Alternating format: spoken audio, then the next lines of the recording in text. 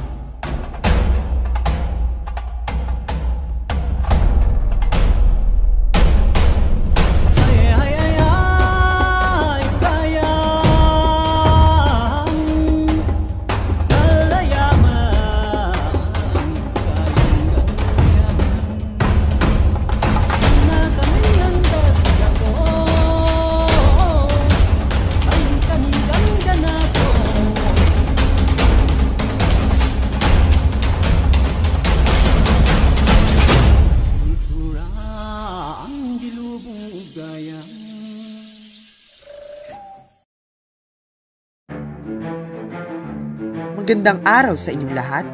Ako si Kim Joshua Pastelero Diendo, ang Pangulo ng Historico Club, sa ilalim ng pamumuno ng kagawaran ng Araling Panlipunan na nagbibigay pugay sa pagdiriwang ng United Nations celebration ngayong buwan na Oktubre, na kung saan ang tema sa kasalukuyang taon ay International Year of Plant Health. Ating sariwain ng mga makasaysayang kaganapan sa iba't ibang bahagi ng daigdig bago nabuo ang organisasyon ng mga malalayang bansa na nagsanib puwersa upang makamtan ng kalayaang minimithi at matuldukan ang digmaang pinasasadlakan ng maraming bansa sa iba't ibang bahagi ng daigdig.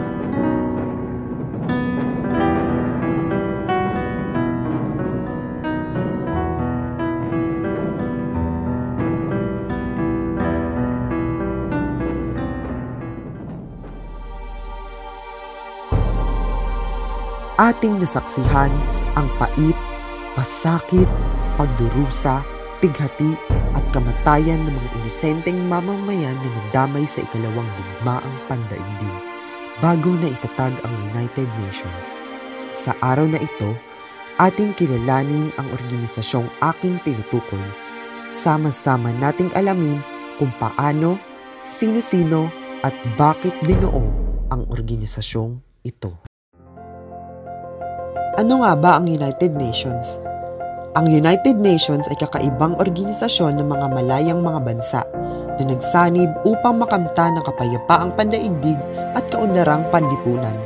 Formal na naitatag ang United Nations noong ika-24 ng Oktubre 1945 sa pagitan ng 51 na bansa na itinturing na founding members nito.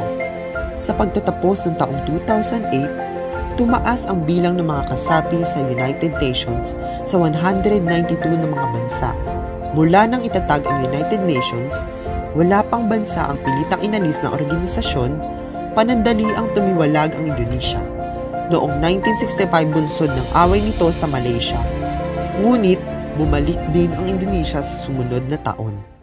Saan nga ba nagmula ang ngalang United Nations? Ang ngalang United Nations ay minungkahi ni President Franklin D. Roosevelt ng Estados Unidos.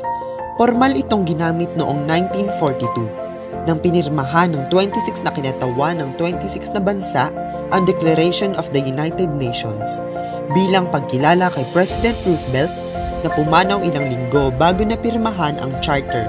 Lahat ng dumalo sa pagpupulong sa San Francisco ay sumang-ayon sa pangalang United Nations.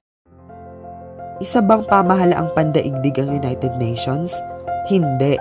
Ang pamahalaan ay kumakatawan sa mga bansa at mga tao. Ang United Nations ay hindi kumakatawan sa kahit anong pamahalaan o sa kahit anong bansa.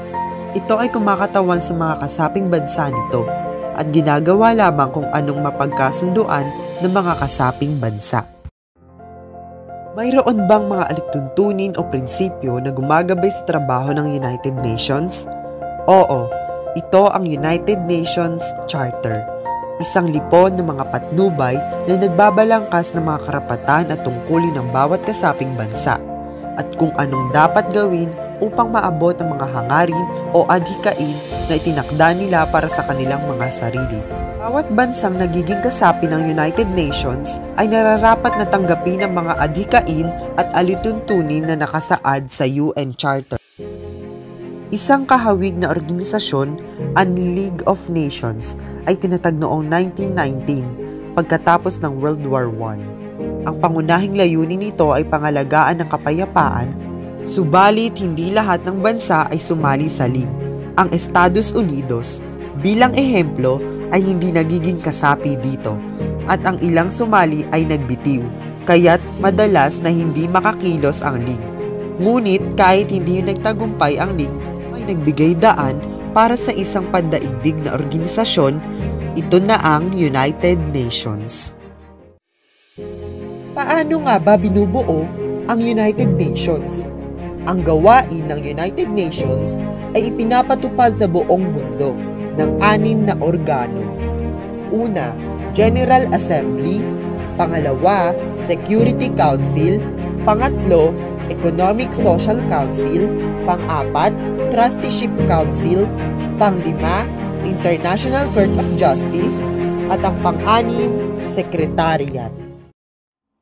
Nagdagang kaalaman, ang Republika ng Pilipinas at ang United Nations ay kaakibat mula pa noong mabuo ang samahan. Ang Commonwealth of the Philippines ay isa sa mga pumirma sa 1942 UN Declaration kung saan nakabase ang UN Charter ng 1945. Ang Pilipinas ay kabilang din sa 51 na orihinal na miyembrong estado at isa sa apat na bansa sa Asia na lumagda sa charter na ito na minarkahan ang pagsisimula ng pagpapatakbo ng United Nations. At alam nyo ba na si dating Senador Miriam Defensor Santiago ang unang Pilipino at unang Asyano mula sa isang umuunlad na bansa na nahalal sa United Nations bilang hukom ng International Criminal Court at si Carlos P. Romulo ay naalala sa kasaysayan ng Pilipinas sa kanyang pambihirang pakikilahok sa United Nations bilang Pangulo ng ika-apat na sesyon ng pangkalahatang pagpupulong ng United Nations. Muli, ako si Kim Joshua Pastelero Diendo ng Historico Club, lalim ng pamumuno ng Araling Panlipunan ay taus-pusong nagpupugay sa buwan ng pagdiriwang ng United Nations at naniniwalang ang lahat ng bagay na mahirap ay nagiging madali kapag may pagkakaisa o nagkakaisa tayong lahat. Tulad sa ating kasalukuyang sitwasyon, sa krisis o pandemyang ating kinaharap, marahil marami sa atin ang nahihirapan pero sa kabila nito, kailangan nating lumaban, magpatuloy at harapin ang padaigdigang pagbabago sa ating nararanasan. Maraming salamat po.